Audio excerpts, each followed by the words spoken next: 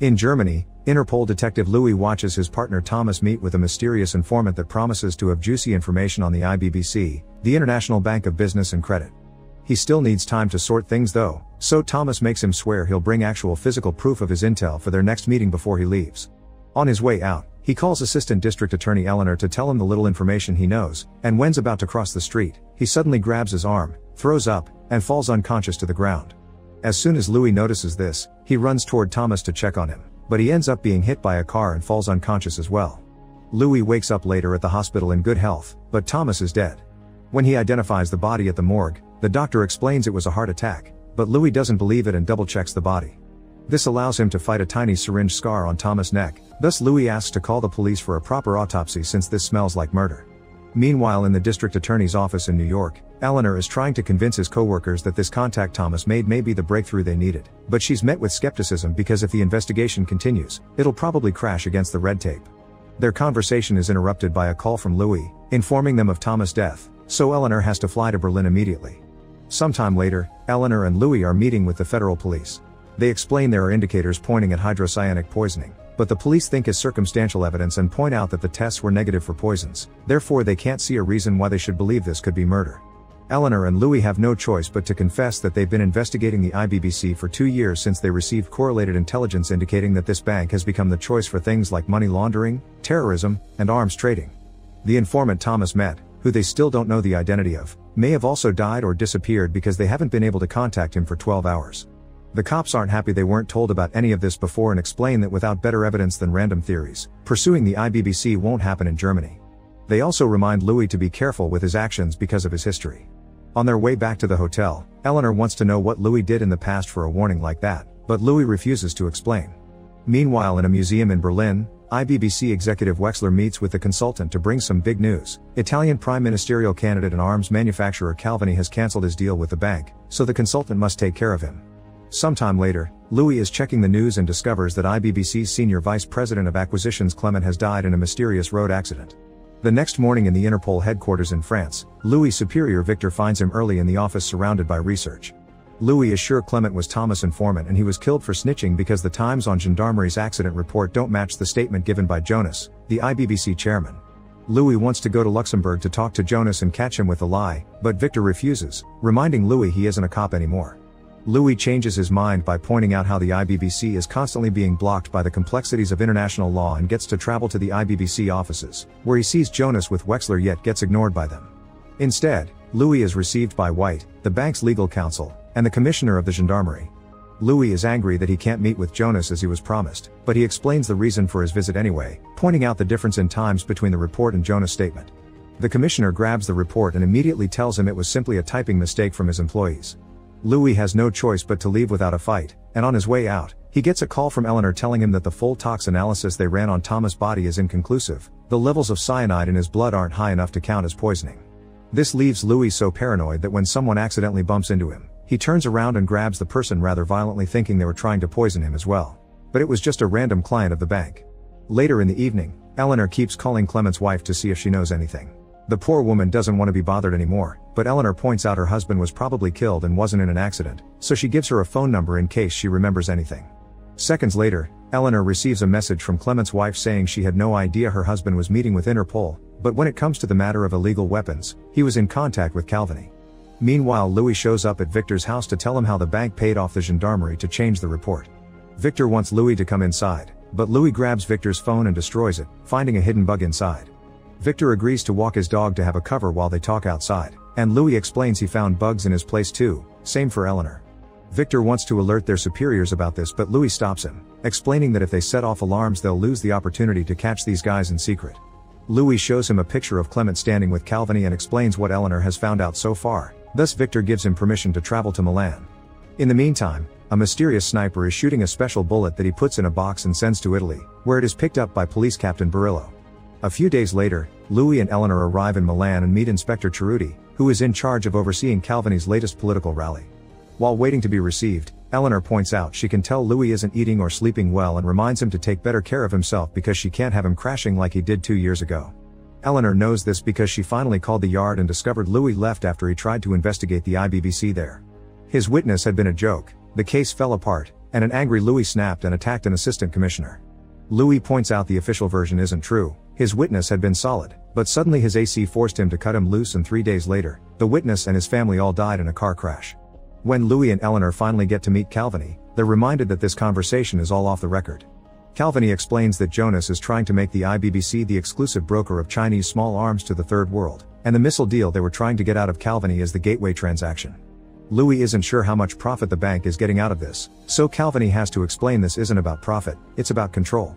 They don't want to control the conflict, they want to control the debt the conflict creates.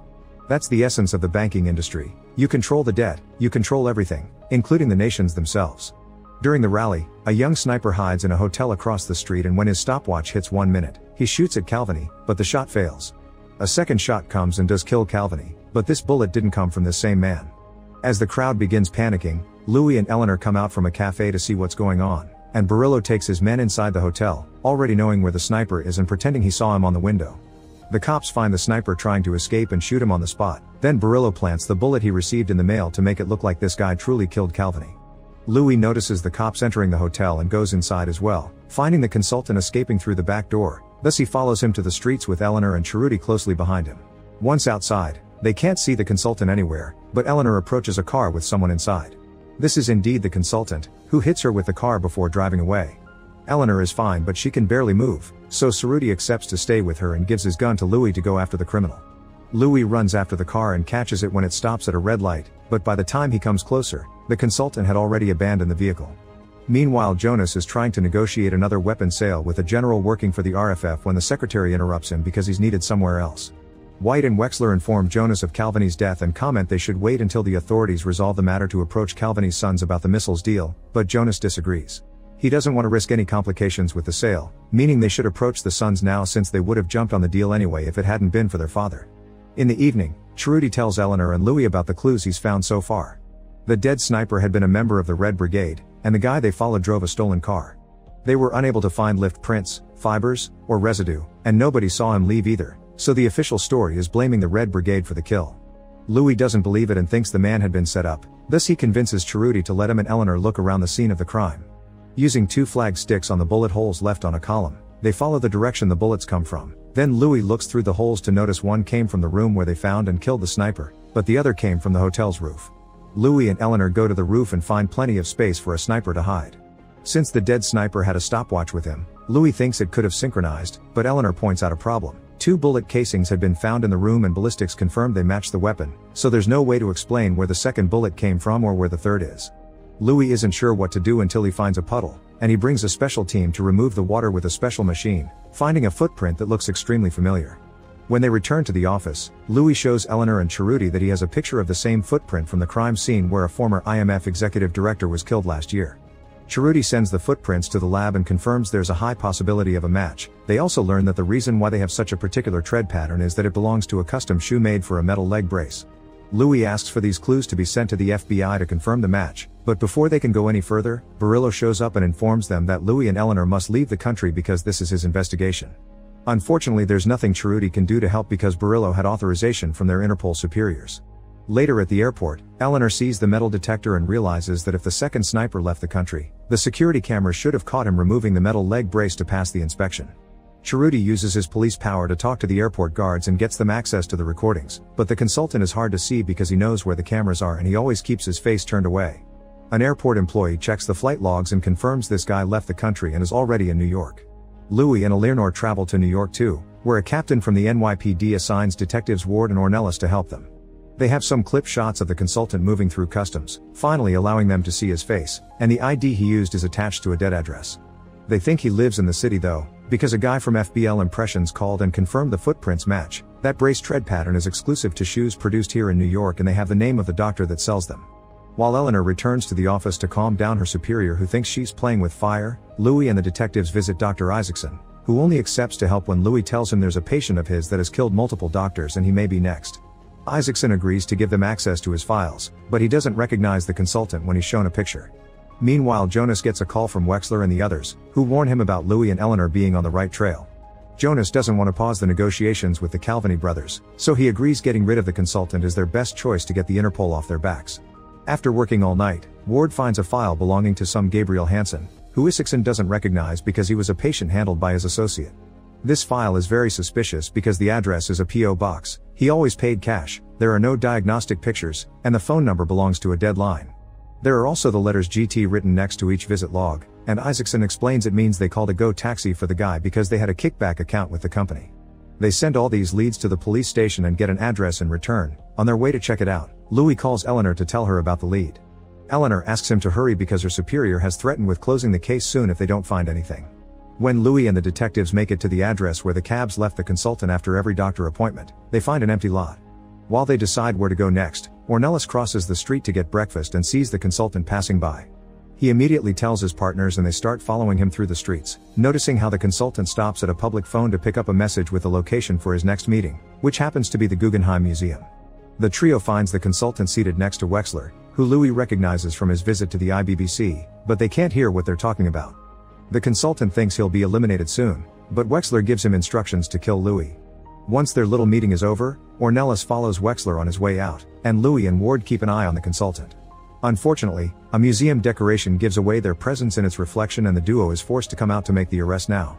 The consultant warns them they won't allow them to take him away, and just as he predicts, suddenly a group of thugs from the IBBC shows up and shoots both the consultant and Ward. The detective dies on the spot, but the consultant is wearing a bulletproof vest and survives. The thugs continue to fire at them and Louis fires back, killing a couple of men while making his way back to the consultant, who is also shooting back and offers Louis to work together if they want to survive. Louis accepts, and after helping him get rid of the vest so he can breathe again, the two of them hide in a corridor, where Louis' ear gets grazed by a bullet. They create a distraction by pushing a wheelchair out, giving them the chance to run back out and shoot another bunch of thugs. The men just keep coming, and the consultant this time is hit for good, thus Louis shoots at the chandelier to make it fall on top of the thugs, gaining an opening to escape with the consultant before the cops arrive. Sadly the consultant dies before he can offer any information. In the evening, Eleanor pulls some strings to rescue Louis from the police station. She also brings a special intelligence report on Wexler. After dodging some cars that try to stop them from leaving, Eleanor takes Louis to Ornelas station, where he's keeping Wexler locked in an office. Louis has a talk with him, revealing he knows Wexler used to fight for communist values, but Wexler explains he got caught in the corrupt webs of the system. He also thinks Louis' idea of justice is an illusion because the IBBC has contacts everywhere, so trying to bring them to justice is pointless, they'll just pay off cops and judges. The only way to truly stop them is to work outside the law. Understanding Wexler also wants revenge, Louis tells Eleanor to walk away from the case before they get to her too. He'll take care of these criminals from the shadows, and he wants Eleanor to tell everyone he escaped from custody, which will be easily believed thanks to his history. Later in Italy, the Calvini brothers cancel their meeting with the IBBC after Louis lets them know the bank killed their father. White and his team are kicked out of the Calvini offices, and White calls Jonas to let him know what happened, but he never makes it back to the city. The police can't find the car or the driver, so they assume the Calvini brothers are sending them a message. Wexler points out that they could sell their old defective missiles to Sunay, the man selling to the Israeli government, and keep him silent with a good amount of money. Jonas authorizes the plan and Wexler arranges the meeting with Sunay before calling Louis to let him know the details. The next day in a cemetery in Istanbul, while Jonas waits for Sunay, Wexler pretends to need the bathroom and meets with Louis in secret to give him a tape recorder with a radio connected to a hidden bug Wexler put on Jonas' jacket.